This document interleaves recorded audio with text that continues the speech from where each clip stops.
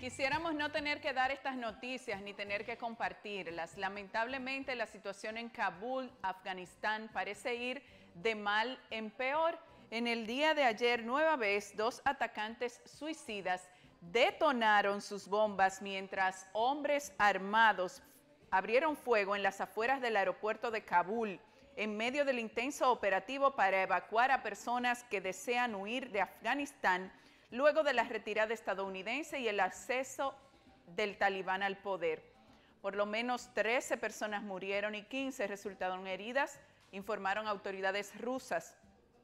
Varios militares estadounidenses, incluyendo infantes de marina, están entre los muertos y otros militares estadounidenses están entre los heridos, informó una fuente de Washington. No quedaba claro si esa cifra estaba incluida en la mencionada por Rusia. Una de las bombas estalló justo en medio de un grupo de personas que estaban paradas en un charco de agua sucia bajo un intenso calor.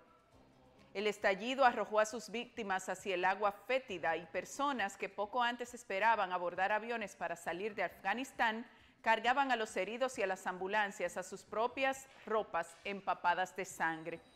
Las explosiones ocurren mientras miles de personas se han aglomerado en las afueras del aeropuerto de Kabul tratando de salir de Afganistán, días después que varias naciones occidentales advirtieron sobre la posibilidad de atentados allí que no tardaron porque se están produciendo.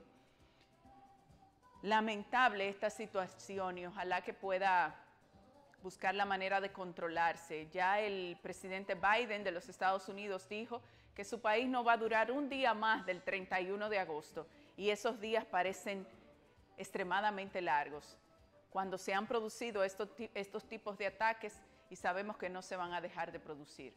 A Dios que tenga piedad y misericordia. Qué triste situación le toca vivir al pueblo de Afganistán atravesando por todo esto.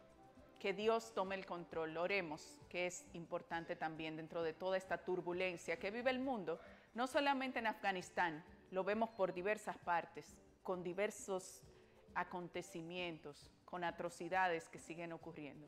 Dios tenga piedad de ese pueblo principalmente ante esta situación.